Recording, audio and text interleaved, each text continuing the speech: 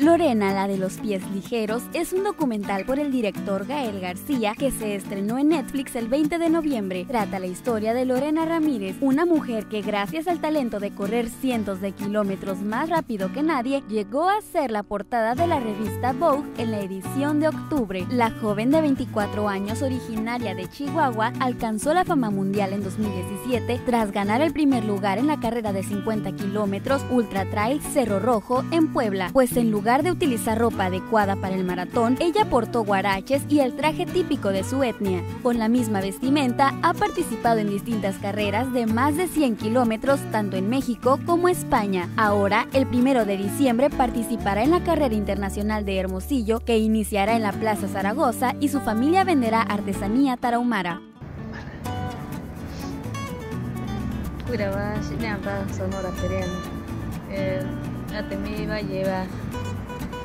Tati Jumbare, una Sonora, eh, primero de diciembre.